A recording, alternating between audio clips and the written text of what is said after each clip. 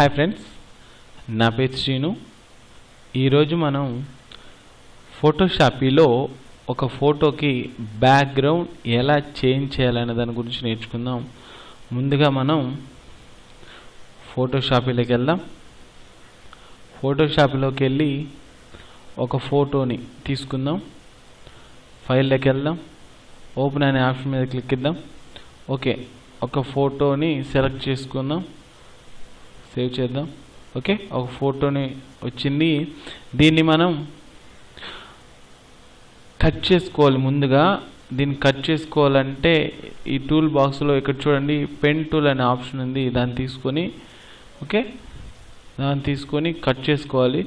So ఇది picture చిన్నదిగా ఉంది కనుక దీన్ని మనం జూమ్ చేసుకుందాం. జూమ్ చేసుకోవడానికి కీబోర్డ్లో కంట్రోల్ ప్లస్ కంట్రోల్ పట్టుకొని ప్లస్ కానీ క్లిక్ ఇస్తూ ఉంటే జూమ్ అవుతుంది. ఇలా జూమ్ అయినాక దాన్ని మనం ఒక ఎడ్జ్ నుంచి కట్ చేసుకోవాలి.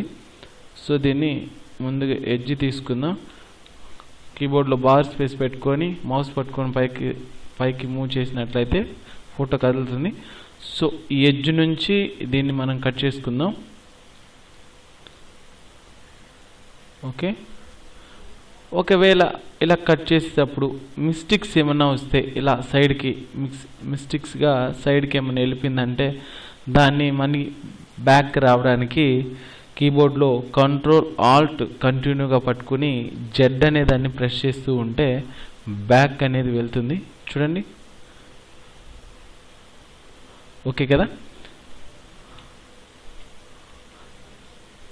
ఓకే దీన్ని మళ్ళీ కంటిన్యూ కట్ చేసుకుందాం. ఇలాగా షేప్ వచ్చినప్పుడు ఇక్కడ చూడండి షేప్ సరిగా రాలేదు. సో ఆ షేప్ రావడానికి మనం మౌస్ని కంటిన్యూగా పట్టుకొని ఇలా ఆ మౌస్ని గాన తిప్పుతూ కనుక ఉంటే ఆ షేప్లు అనేటివి వస్తూ ఉంటాయి వాటిని పట్టుకొని షేప్గా కట్ చేసుకోవడమే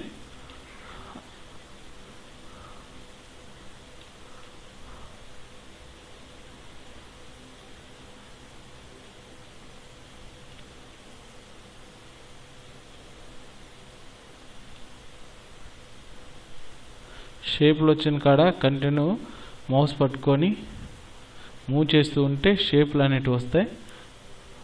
అలా కట్ చేసుకోవడం. సో ఈ ఎండ్కి వచ్చేసాక దీన్ని మళ్ళీ జూమ్ అవుట్ చేసుకోవాలి. జూమ్ అవుట్ చేసుకోవడానికి కీబోర్డ్లో కంట్రోల్ పట్టుకొని మైనస్ కానీ కొట్టినట్లయితే ప్రెస్ చేసినట్లయితే వెనక్కి వెళ్తుంది. సో దీన్ని ఆ ఎండ్ నుండి మళ్ళీ ఈ ఎండ్కి కలిపేద్దాం. కలిపిన వెంటనే ఇలా వస్తుంది. సో దీన్ని మనం కంట్రోల్ ఎంటర్ కీబోర్డ్లో కొట్టినట్లయితే సెలెక్ట్ అవుతుంది. చూసారు కదా? సెలెక్ట్ అయింది. ఇలా సెలెక్ట్ అవుతుంది. దీన్ని మనం కాపీ చేసుకోవాలి. కాపీ చేసుకున్న ఎలా చేసుకోవాలంటే ఎడిట్ అనే ఆప్షన్లోకి వెళ్ళి పైన ఎడిట్ అనే ఆప్షన్ ఉంటుంది దాంట్లోకి వెళ్ళి కింద చూడండి కాపీ అనే ఆప్షన్ ఉంది దాని మీద క్లిక్ ఇచ్చినట్లయితే కాపీ అవుతుంది.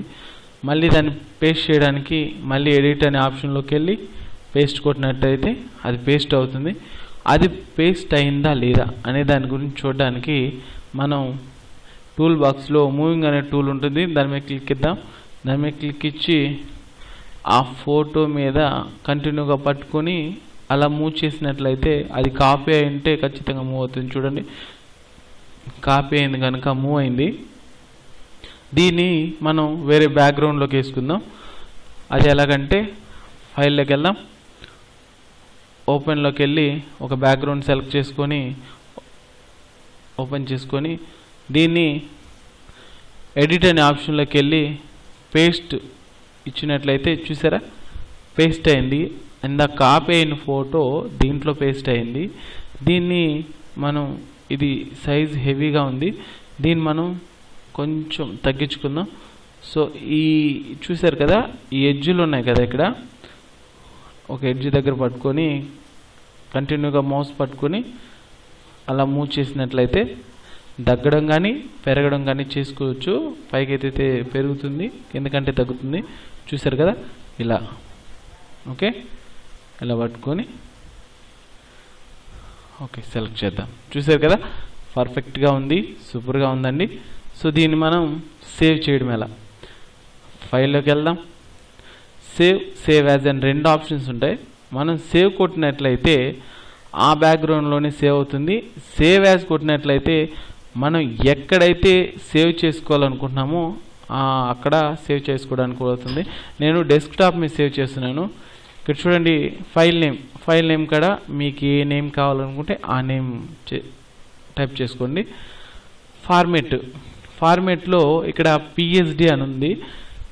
పిఎస్డి కాదండి మనం కావాల్సింది J P G J P G మీద క్లిక్ ఇచ్చి సేవ్ చేసుకుందాం. ఇక్కడ క్వాలిటీలో తక్కువగానుంటే ఫుల్గా పెట్టేసుకోండి. ఇక్కడ ఫుల్గా ఈ ఆరో మార్క్ని ఫుల్గా అనేసేసి ఓకే చేద్దాం. ఈ జేపీజీ అనే ఫార్మేట్లో పెట్టినప్పుడు మాత్రమే ఫోటోని ప్రింట్ ఇవ్వడానికి కానీ లేదంటే ఫేస్బుక్లో వాట్సాప్లో పెట్టుకోవడానికి మొబైల్ వేసుకోవడానికి వీలుగా ఉంటుంది. సో దీన్ని ఫోటోషాప్ని మినిమైజ్ చేసి డెస్క్టాప్ మీద ఉందో లేదు చూద్దాం.